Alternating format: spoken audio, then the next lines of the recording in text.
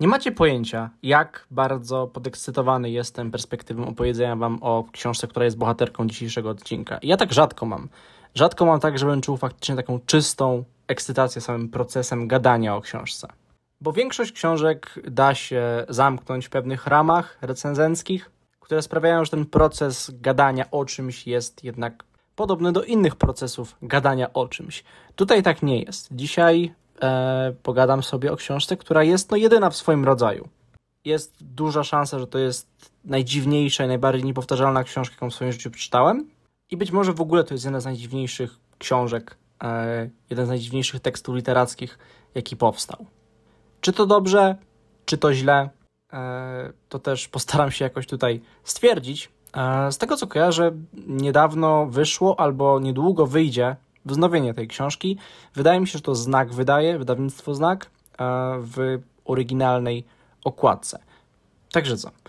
Pogadam sobie dzisiaj z Wami o książce Dom z liści Marka Z. Danielewskiego. Od razu napomknę, e, że Danielewski nie jest Polakiem. Ma polskiego ojca, on się urodził w Radomiu, natomiast sam autor bodajże w Nowym Jorku ma polskie korzenie po prostu. Um, Dom z liści to jest książka, która ukazała się po raz pierwszy w roku 2000 i mam takie poczucie, że to jest książka otoczona trochę takim, takim mitem, taką aurą tajemnicy i pewnie w niektórych środowiskach to jest pozycja kultowa. E, zdarza się, że jest ona nazywana jedną z najstraszniejszych książek w historii, e, jedną z najlepszych powieści grozy. Mm, I wydaje mi się, że no, warto jest w przypadku tak atypowej książki zacząć od dość mocnego statementu na początek. Jako, że teraz mamy to wznowienie i ta cena, cena za tę książkę nie jest niska, bo ona tam okładkowo kosztuje chyba 120 albo 130 zł. No wiecie, dużo osób spróbuje, będzie chciało dać szansę. I gdybym miał postawić jakąś tezę, bazując na moim jakimś takim wyobrażeniu na temat przeciętnego czytelnika, mm, to powiedziałbym, e, że na powiedzmy 100 osób, które zacznie tę książkę, skończy ją jakieś 10 przy dobrych wiatrach. Uważam, że dla wielu to będzie jedna z najbardziej niestrawnych książek, jakie spróbowali przeczytać. Um, I ma to pewien urok, bo no, nie wyobrażam sobie, żeby istniała druga książka podobna do tej. Może jakieś tam, wiecie, tanie kopie powstały, bazując na tej konkretnej historii, ale jest to ten typ książki, którego się nie da absolutnie porównać do czegokolwiek.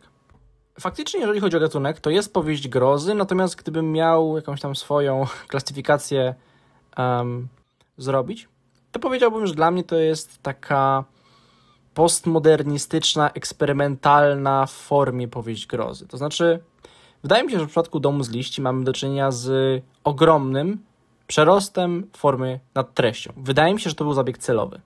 I dla mnie to jest jedna z tych książek, gdzie nie jest najważniejsze to, co się dzieje, tylko jak jest to pokazywane w samej książce. Wyobrażam sobie, że w tym filmie wstawię Wam parę zdjęć, żebyście mieli jakieś wyobrażenia na temat tego, co Was tutaj czeka. Um, bo ciężko jest y, momentami opisać słowami to, co się dzieje w tej książce. Zacznijmy sobie od bohaterów. E, I trzeba sobie powiedzieć o trójce bohaterów tej książki. E, I to jest po pierwsze Johnny Vagabunda, Zampano i Will Navidson. No i teraz przechodzimy do sedna, więc trzeba się tutaj skupić, żeby e, no, nie popieprzyć pewnych rzeczy.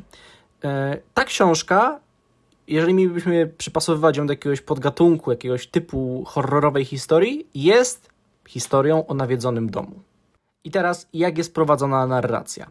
Otóż, mamy tę trójkę bohaterów e, i sytuacja wygląda tak, że cała książka jest utrzymana no trochę w takiej konwencji non-fiction. To znaczy, to jest takie dość chaotyczne, zbiorcze opracowanie wielu tekstów traktujących o właśnie tym nawiedzonym domu.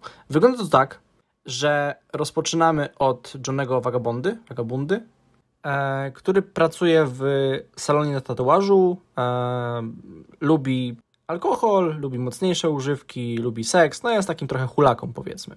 I on pewnego razu, za sprawą swojego znajomego, wchodzi w posiadanie mm, notatek, które zostały stworzone przez drugą postać, o której wspomniałem, czyli Zampano. Zampano był no, takim szalonym staruszkiem, powiedzmy, e, który jakby narracji nie jest specjalnie istotny, bo on no, na samym początku tej historii umiera. Natomiast istotne jest właśnie to, co po sobie pozostawił. Pozostawił opracowanie, notatki, analizę pewnych nagrań.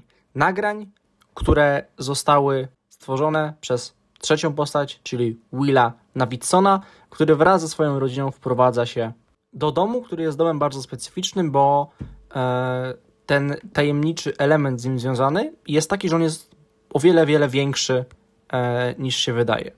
Pojawia się na przykład korytarz, przez który się idzie parę minut e, i Will Navidson rejestruje pewne rzeczy za pomocą kamer. Więc mamy fikcyjne nagrania wideo dotyczące nawiedzonego domu, czy też jakiegoś anormalnego domu, e, które zostały skomentowane, opracowane przez Zampano, na których swoje ręce położył Johnny Vagabunda, dodając jeszcze jakieś swoje wstawki. E, I ten cały tekst jeszcze w ręce innych osób, które trochę analizują to, co dostały i w jakiś sposób to komentują. E, I to się wydaje być, tak na sucho, kiedy wam to mówię, niemożebnie wręcz chaotyczna narracja. Rwana, składająca się z masy wątków, stawek, przerwań tej narracji, skoków do innego momentu, odejścia od tematu, jakichś dygresji. I tak jest. Stety, niestety tak jest, bo no nie ułatwia to czytania. E, sprawia to, że proces czytania tej książki jest ciężki. Szczególnie na samym początku. E, to, czego musicie być świadomi, to to, że ta książka ma masę przypisów. Masę przypisów. W ramach oderwania od tego wątku kasety nawiedzonego domu mamy przypisy stworzone właśnie przez Johnego, które opisują jego prywatne życie. E, to, jak to jego życie się stacza. Jego życie pełne właśnie seksu, uzależnień, łatwych kobiet i pojawiającej się w nich w nim bardziej paranoi. I to jest już coś, co może przeszkadzać. To znaczy, masa tych odnośników czy przypisów jest powiązana z tekstem. Natomiast spora część nie jest. I to może sprawić, że jeżeli e, zainteresujecie się tym, co jest w tej książce najważniejsze, czyli historią tego domu, e, to będziecie notorycznie na długi czas wyrywani z tej narracji i rzucani w kompletnie inne miejsca. To, co myślę, że mm, wychwycicie dość szybko, mm, może nie tak, wiecie, totalnie od razu, ale po jakimś czasie, to to, że masa tych przypisów jest nieistotna, jest pewnego rodzaju stylizacją. Na przykład mamy tutaj um, przypisy, e, które łączą daną wypowiedź czy daną analizę z jakimś fikcyjnym wywiadem, fikcyjnym artykułem, pochodzą z fikcyjnego opracowania książkowego danego fragmentu. Mam tutaj na przykład taki jeden przypis, który pojawia się w pewnym momencie, który jest, i tutaj nie przesadzam, chyba dwu albo dwójpółstronicowym e, przypisem, gdzie mamy tylko nazwiska. Nic innego, tylko nazwiska. Więc prawda jest taka, że ogromną część tych przypisów um, po prostu uważam powinniście pomijać.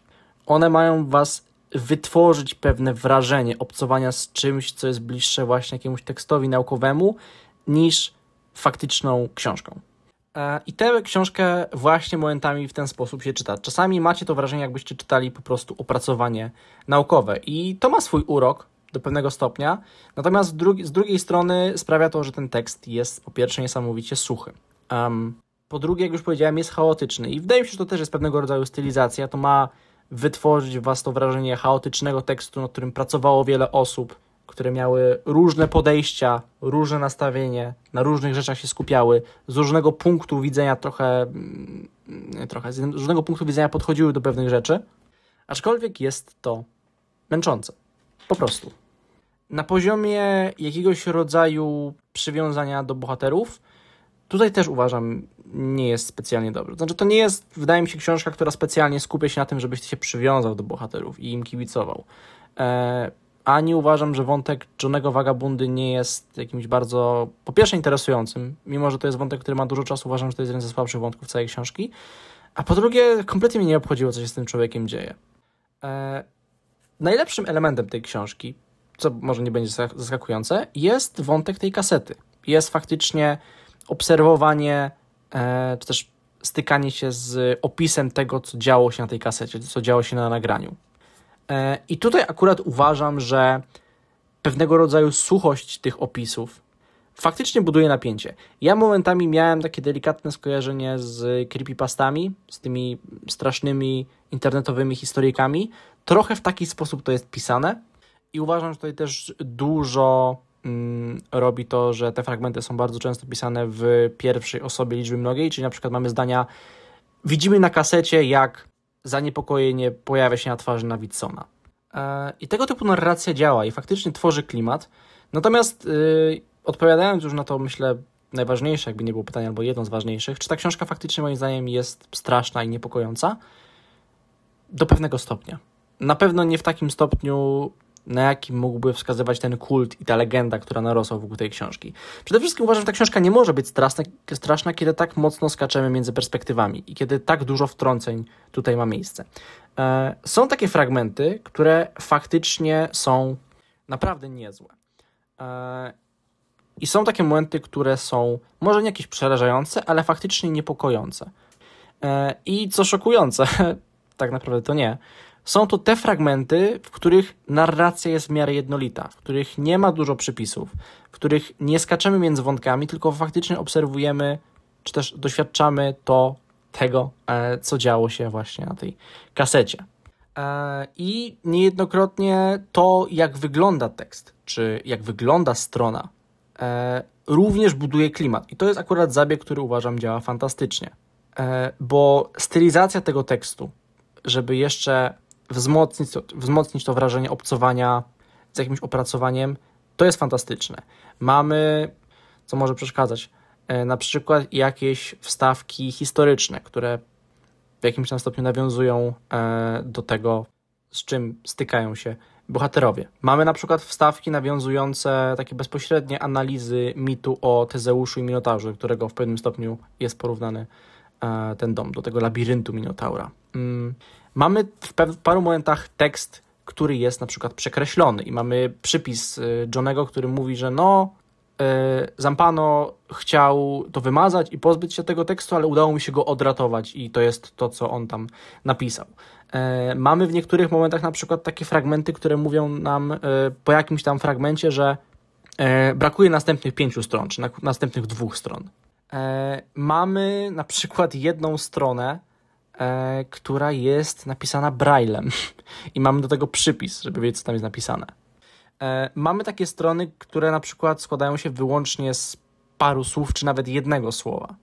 E, mamy takie strony, których stylizacja bezpośrednio przekłada się na to, co dzieje się w tym domu. Na przykład mamy takie fragmenty, taki fragment, gdzie jest powiedziane, że korytarz, do którego wszedł główny bohater jest nienaturalnie szeroki i ten tekst zaczyna się rozszerzać. Mamy na przykład fragment o tym, że bohater zaczyna spadać w dół i wtedy mamy słowa, które pojedynczo idą od góry do dołu. E, I to są fajne bajery, ciężko mi to inaczej nazwać niż bajer, które faktycznie działają, tylko tutaj pojawia się pewien problem. To znaczy, ja uważam, że większość czytelników będzie miała to kompletnie gdzieś. Będzie miała kompletnie gdzieś te różne stylizacje, jakieś triki, próby przetworzenia tego, co dzieje się w ramach historii, na to, w jaki sposób widzimy e, no, te fragmenty w tekście. Większość osób chciałaby, żeby ta historia była napisana po prostu jako no, zwykła książka. I uważam, że jakby to była zwykła książka, to może nawet mi by się spodobała bardzo. Bo główny problem tej książki, uważam, jest taki, że ona jest fajnym wyzwaniem i ona jest fajną ciekawostką i daje ci pewne wyzwanie. To znaczy, kiedy tę książkę kończysz, a ona ma te no, 700 stron plus minus, chociaż oczywiście to jest trochę złudne, no bo jak już mówiłem, niektóre strony mają po jednym słowie na przykład. Niektóre strony praktycznie w całości pomijamy, bo są e, zawalone kompletnie nieistotnymi przypisami. Więc macie to poczucie satysfakcji, kiedy skończycie tę książkę. I macie to poczucie, że no, pokonali, jakbyście pokonali bossa w Elden Ringu. No, coś bardzo ciężkiego i faktycznie to jest za wami. Tylko, że wydaje mi się, że masa osób podejdzie, podejdzie do tej książki w taki sposób, że ona jest celowo utrudniana. Um, aczkolwiek być może, jeżeli ja przebrnę przez tę książkę, to konkluzja i pewne zwroty fabularne no, wynagrodzą mi to cierpienie.